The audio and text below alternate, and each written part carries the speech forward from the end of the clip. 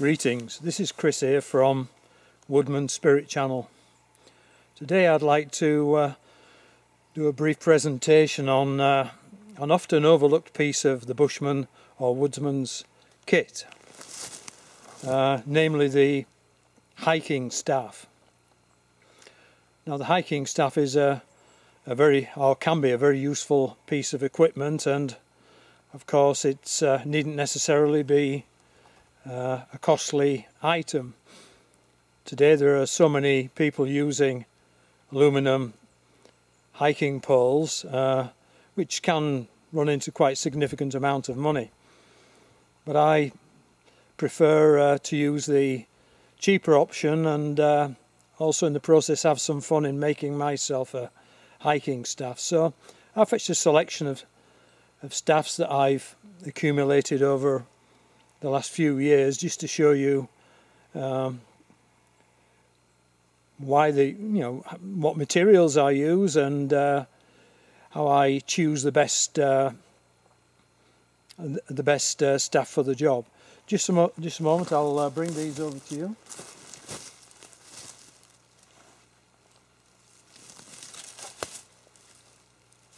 So here, here are three examples of hiking pole. Now, there are many ways you can use a hiking pole, and my list is by no means exhaustive. But, uh, I mean, primarily they can be used for uh, ensuring uh, that you can travel safely over rough terrain. Um, you can use them for fording across streams or through bogs. You can also use them for uh, testing the thickness of ice if you uh, have to cross an area of, area of ice. Um, they can also, in extreme conditions, be used as a defensive weapon. Uh, I've used them many times for uh, walking through briars and rough brush to, you know, part the way so I don't end up getting uh, cut up by the uh, the briars or thorns.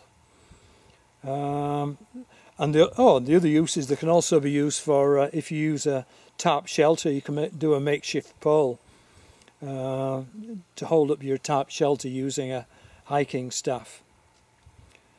Uh, one of the key things, uh, you know, once you've found yourself a nice straight uh, piece of wood to uh, create a hiking staff, is to decide how long you want it. And there are a lot of different considerations when you talk about uh, the length of a hiking staff. Just let me show you.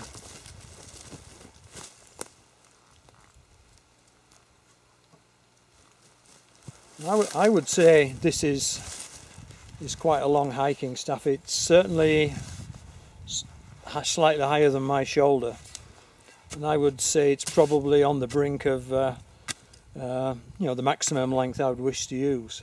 I mean, there are extreme circumstances when I might like to use something a bit longer than this. Um, this one is made from a piece of um, Douglas fir, which uh, actually isn't common in the area where I am at the moment. Uh, this occurs more, more in the valley bottoms and in the lowlands. Um, and with this one, it's got a nice little uh, curve in, in, the, in the top which uh, makes a natural hand grip. It's fairly thick uh, and fairly strong. There's very little bend, very little bend in the wood, uh, which is uh, which is quite essential because if um, you're going down, uh, let's say, a, a, steep trail, and you want to reach out ahead of you and, and steady yourself as you're going down the hill, you don't want something that's going to bend or ultimately snap. Um, I won't go into uh, the finish on these too much in this video, but uh, this one has had most of the bark scraped off with the exception of a little bit of the inner bark. Uh, so that one is uh, probably 5 feet 4 inches in length. And here you can see there's one uh, that's probably about 5 feet in length. Um, now this is made of a, a different uh, wood. This is made of um, vine maple, which it is actually quite difficult to find a nice straight piece and of course you uh, really do you know you would prefer I'm sure to have a, a straight piece of, of wood to make a hiking staff. Um, the nice thing about this though is pretty straight there's very little in the way of uh, I'll try and get back so you can look down lengthways. Uh, there's very little uh, twist or bend on this one um, and the thing is it's quite quite a hard wood as well so yeah, it makes it uh, durable and uh, even though um, it's fairly thin probably well, not much thicker than my thumb it's uh, strong enough to uh, to provide support on on tricky uh, whereas this one here is is a little heavier and probably more durable, but uh, not necessarily. It's not necessary that you would need one as thick as this. So this is uh, again is vine maple, and this is uh, Douglas fir.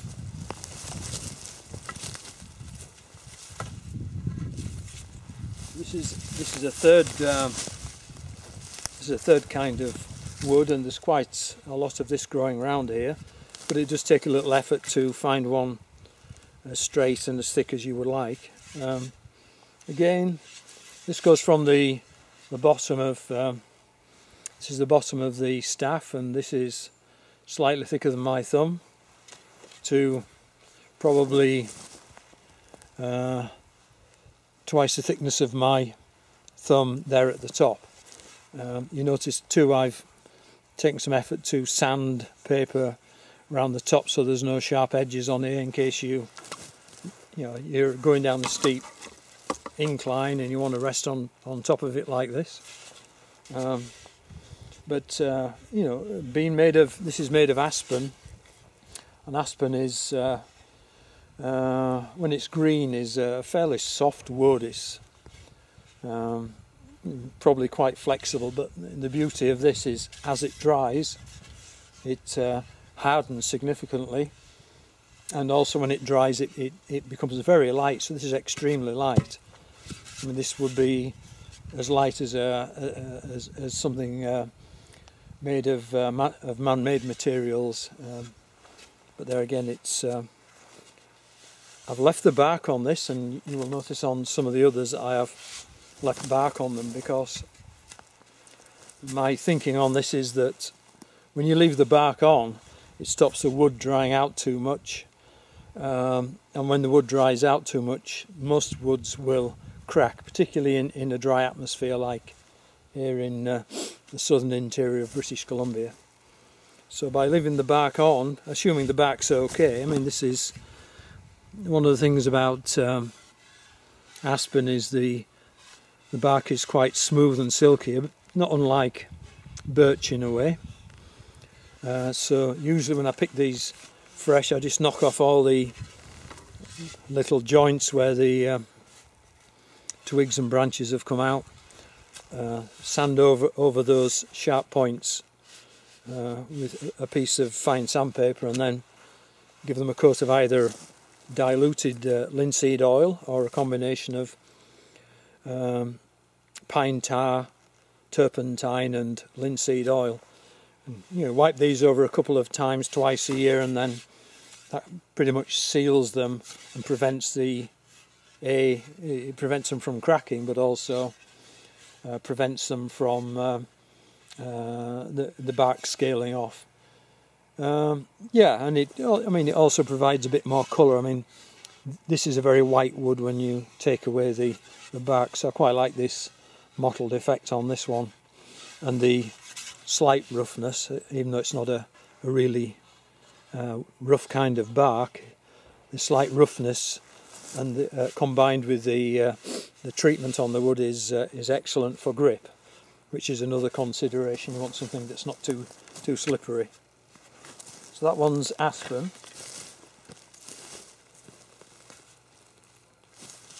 And this is uh, this is aspen. Uh, this one's not a terribly good uh, staff but I was looking around for some samples this morning and uh, the bottom of this is probably slightly thinner than my thumb and the top slightly thicker, right? So a little bit on the long side again for me. It's um, uh, probably about five feet six, five feet seven long. So I'm about uh, five feet ten.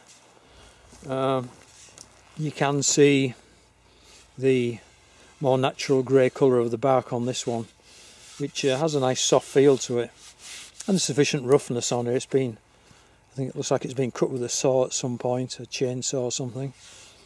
Um, but of course, you, you, can make this look a lot better and improve upon it by uh, taking the steps that I've mentioned earlier. So there's a slight bend in there, and that actually uh, makes uh, an annoying vibration when you're walking and hitting the ground with it.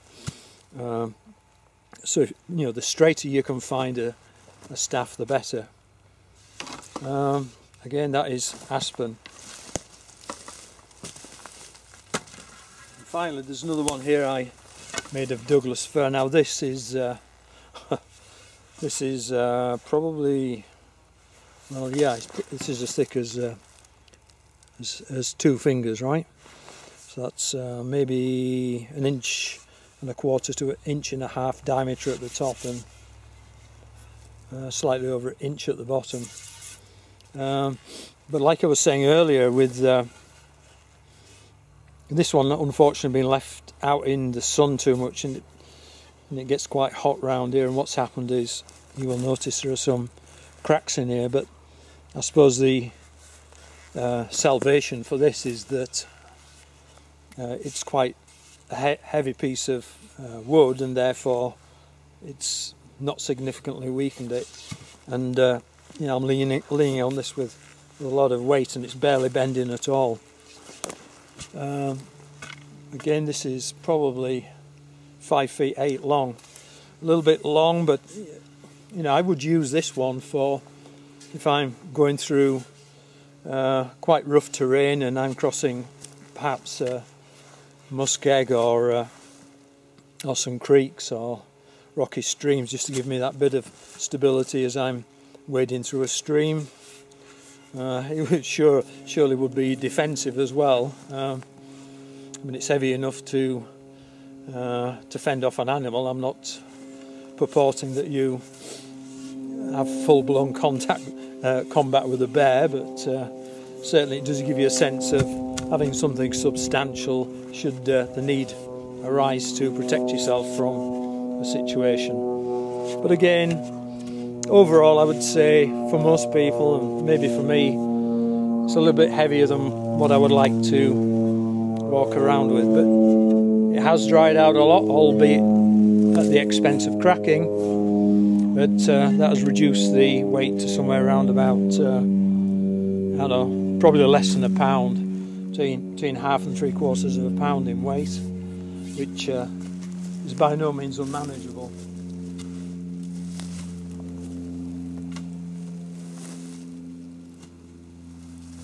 So I'm going to briefly uh, just have a little foray into these uh, into this woodland and try and show you uh, how to find one of these uh, one of these uh, stems to make a or branches to make a, a walking staff from. Uh, so uh, just wait right there and uh, I'll show you how we do this. So let's see how we do with this.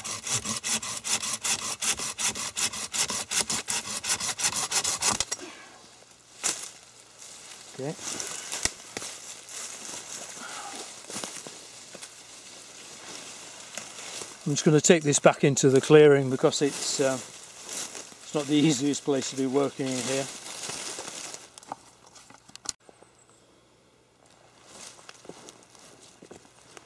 So here we are. Managed to uh, cut two poles, which are actually uh, think this was a branch on a vine maple, and this one was just a young uh, sapling growing in a, uh, a very dense area of wood. Uh, therefore, it's grown bolted quite uh, long and straight. It has a a bit of a twist in the end there and uh, yeah a very slight bend 18 inches from the bottom whereas this one has a curve at this end which is not too bad really because um, that allows you to maneuver your hand around near the near the uh, top of the staff to uh, accommodate different uses. Um, it has a slight curve on it but you can actually straighten these out by putting them between two blocks while they're still green and uh, hanging a, a, weight from a cord uh, or heating it in front of a fire and probably bending it across uh, your knee or uh, fulcrum, making a fulcrum between two trees or something. But uh, yeah, the back's quite smooth on this. So when we come to the point of um, treating this to preserve it, we just leave the bark on, use a, a pot scourer, you know, like a steel pot scourer or a heavy nylon scrubbing pad or um, uh, medium co uh, to coarse grit sandpaper just to uh, knock all the sharp edges off and the you know things like the uh, the lichen that's growing on this right so the only thing we need to do now is decide how long we want these. This again is uh, probably plenty long enough for most conditions. Uh, could afford to cut a little bit off depending on your height whereas this one is uh, oh, must be seven feet tall. Therefore that's quite good in a way because it gives us chance to decide whether we want to take any off the thick end at the top or to uh, cut a bit off the bottom uh, so I'm just hitting the ground with this just to see you can see it's vibrating which is uh, not the best thing in the world, but uh, uh, I think in the circumstances you have to compromise somewhat. So I'm going to cut a little bit off this. I'm going to make it um, probably. I'm going to take some of the, the top off because the top is quite heavy and I think that contributes to the the vibration when you're walking. So I'm going to cut the top 12 inch or so off this. Um, I'll use this uh, folding saw which is a, uh, a SOG saw I've had for some years. It's not the best saw in the world, but it's um, quite ergonomic and it has a fairly coarse teeth on it, which is uh, can be useful because some of these new saws have a very fine teeth which easily get clogged up. So here we go.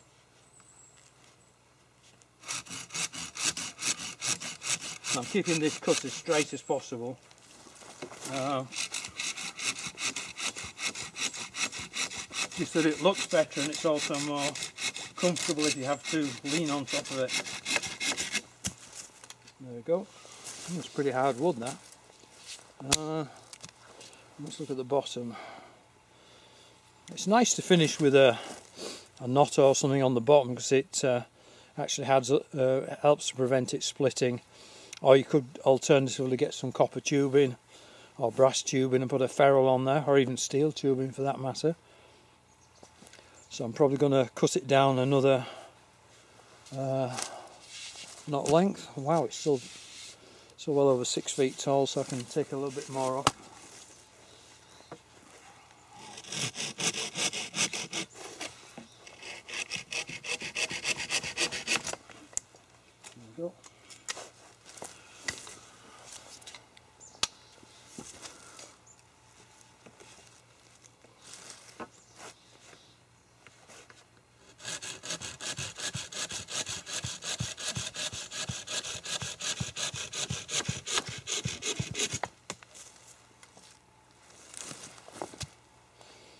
yeah so that's about uh, five foot four five foot six. Uh, I'm just going to knock these uh, little cruxes off where there's been um, twigs coming out small branches coming out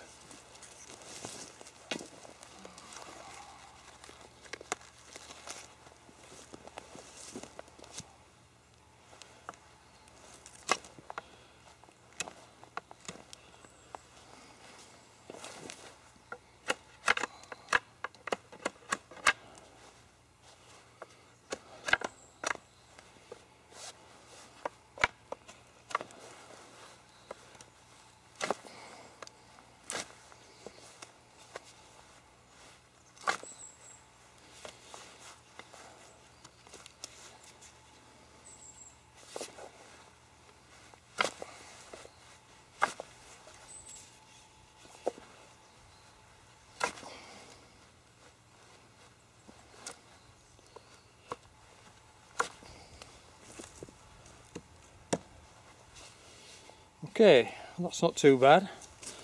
I'll probably take a rasp or a coarse sandpaper to these joints when I go home and just uh, make a smoother job of it. Uh, so yeah, that's fundamentally usable. We can uh, still take a little bit off once we get this, uh, once we've used it a while, depending on how we feel about it. Quite smooth bark on this one. There's no lichen on this one. Therefore, this is going to be very easy to uh, put a, a coating of linseed oil or pine tar kerosene linseed oil mix.